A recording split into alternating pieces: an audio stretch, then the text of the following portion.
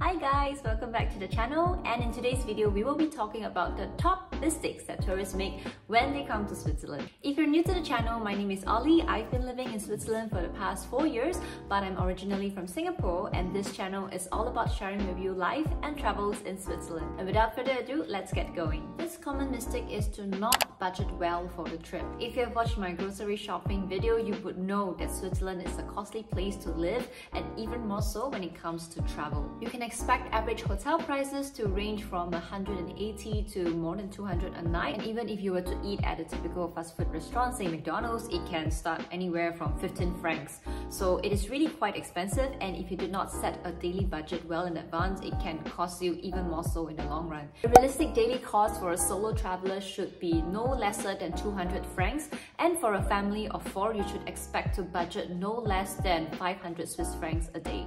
The second most common mistake is to not bring Swiss francs on your trip. Switzerland is not a member of the European Union and unlike bordering countries, it does not use the euro. Although the euro is widely accepted all over the country, if you were to use the euro, you will end up with unfavorable exchange rates at restaurants and kiosks and you will just end up losing money. There are two great apps that I really recommend for travelers. The first one is called YouTrip and the second, which I use myself personally, is called Revolut. Essentially, these are apps that work also as multi-currency travel wallets. You can top up with any currencies that you want uh, using your existing bank account or credit or debit card and they also they provide favorable exchange rates better than the ones that if you were to pay with Swiss francs directly at the shops and restaurants. So far I have no issues using it in Switzerland so this is definitely a good choice to have so you don't end up with uh, the issue, the problem of not having Swiss francs with you. Third mistake is expecting to shop on Sundays. Where I come from uh, in Singapore, Sundays are like the day where you go out, you go do your shopping, you go meet your friends, but no, that is not the case in Switzerland.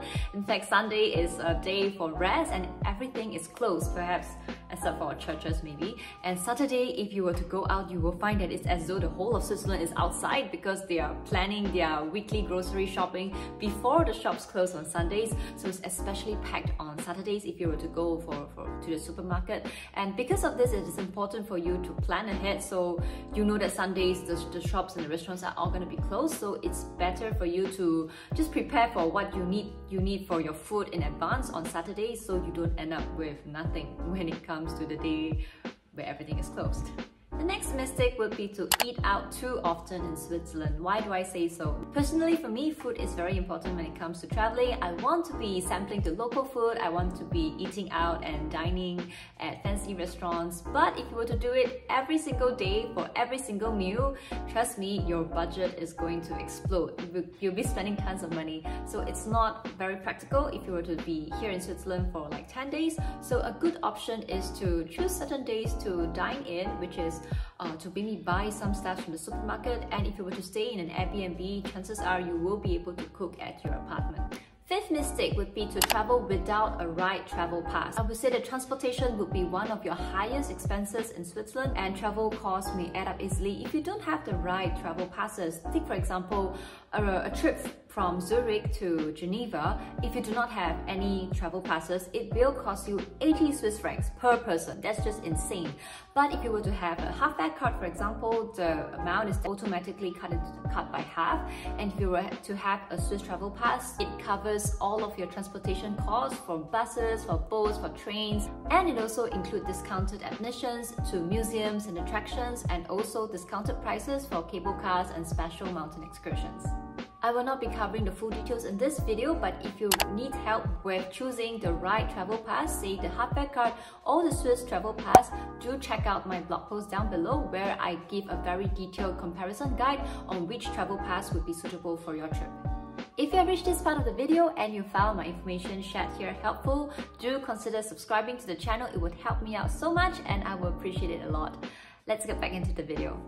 The next mistake would be to not travel by train. I don't even know why people think about not using the train as a mode of transportation because you're in a country where trains are the best mode of transportation in the world. It's fast, it's efficient, it's clean, and it gets you by anywhere with so good connections. You don't even have to stress about driving on the roads. Um, so to me, I would have choose train transportation without a doubt. But I do understand that for some travelers, especially those with elderly or children, it might be more practical to have a car because that way it's more flexible.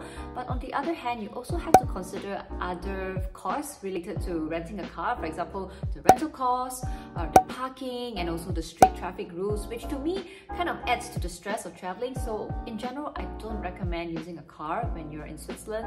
The train is a much safer and just generally a more fuss-free option in my opinion. The next mistake is for those of you that are thinking of driving in Switzerland and that is to exceed the speed limit.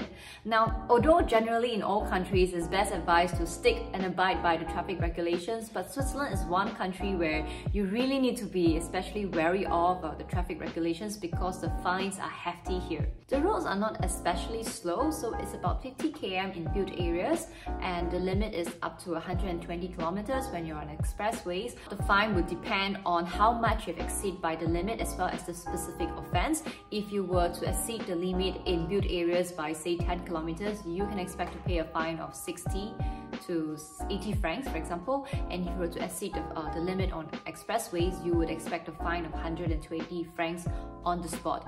And if you think that you can escape the fine and not pay and just return back to your country, no, they are going to send the fine back to you in Singapore or wherever you are. You just can't run away from it. So this is you know, just something to keep in mind if you're driving a car in Switzerland that just abide by the speed limit. Don't speed because once you get a fine, it's just going to ruin your trip. The next mistake is a tech mistake and that is to not bring the right travel adapters before coming to Switzerland. I don't think a lot of people know, but Switzerland use, uses a specific plug, which is the plug, the Type J plug. This is used in Switzerland and Liechtenstein. So if you were to bring like the Euro plug, which typically looks like this, it's a two pin and it's much more rounded as you can see, whereas the one in Switzerland, it's a diamond uh, shaped flush and it's a 3 pin. If you bring this, nope, it can't fit because it's too round and fat. But instead, if you were to use this one, which I think is a type C plug used in France or something, I think, this one is able to fit. So either you bring this or you bring you buy the specific 3 pin plug. But usually what I would do is to just bring one single um, adapter that can fit. Then I would uh, also bring along an extension cord. That way I only need one single uh, plug attached to this and then I can just use all of my Singapore appliances. So best way is to just bring a set like this so that way you'll be safe. Another mistake in my opinion is for travelers to not spend enough time in Switzerland. What I mean by that is a lot of times people would want to pack their Swiss trip together to visit other countries or in Europe like to France or Italy. This is very common. But in my opinion it's not a good idea because Switzerland itself, although it's small, but there are so many attractions, so many places to see. For example, there's Zurich, there's Lucerne, there's Lausanne, there's Lauterbrunnen, there's Grindelwald. There's just so many and it's not possible for you to pack every single thing in a short time frame, say three to five days. You will end up missing out a lot and I don't think it's a worthwhile investment, especially if you would already come this far to Switzerland. In my opinion, it would be better if you were to stay minimally seven days, but the best would be two weeks because then you really get to explore each region in, in, in detail. And there are also some very unique parts of Switzerland Switzerland that most people have not been to, say down south in Ticino, the Italian side, it's really very beautiful. During summer, I really love Lugano and Ascona, and you should definitely check out my summer video in Ticino. So these are just examples, places in Switzerland that not a lot of people go to because they don't have enough time to, to begin in the first place. So this is a typical mistake that I would avoid if I were to come to Switzerland and I will try to spend more time and to just dedicate a full week, at least a full week in Switzerland. The next mistake is very common and that is for travelers to go to Interlaken. To me, that's like in Singapore and then you only go to Marina Bay Sands. I don't think you've seen the whole of Singapore in that in that way. So Interlaken to me is a very touristy place. It's, and I don't know why it's so popular because to me there's nothing much to do there apart from paragliding or maybe Harder Kulm. But really, that's about it. I feel that you can spend your time much more worthwhile in Switzerland by going out to other places like Grindelwald or, or Lucerne or anything, just not Interlaken because Um, maybe it's because it's a good base for you to go out to the, the Bernese uh, Oberland, but I don't think you should spend more than half a day in Interlaken. You should definitely get out of it, get out of the space because it's quite boring to be honest. Final mistake is to not use basic local language. In Switzerland, there is no official Swiss language. Instead, in different parts of the region, some may speak French, some may speak German or Italian, but uh, German and French are the most common languages. And it would definitely help a lot in your trip if you were to master just some basic phrases like bonjour, bonsoir, s'il vous plaît, or merci, which means good morning, good afternoon, please, and thank you. And in German, if you were to know simple phrases like Grüezi, Dankeschön or Bitte. Of course, the locals are not going to expect you to be speaking fluently in German or French, but if you were to just use these simple phrases in your request, they are definitely going to appreciate it and chances are you're going to receive better service from the local staff. So definitely consider using local languages in your conversations. And there you have it, my top 10 tourist mistakes that people make in Switzerland. I hope you found this information helpful and so you do not repeat them yourself when you're planning for your trip to Switzerland. And if you happen to be planning for a winter holiday to Switzerland, you'll want to check out this video here where I give you tips and recommendations on what to pack for a winter trip. Let me know down in the comments if you have any suggestions on what are the topics that you would like to see and if not, stay tuned and I will see you in my next video. Bye!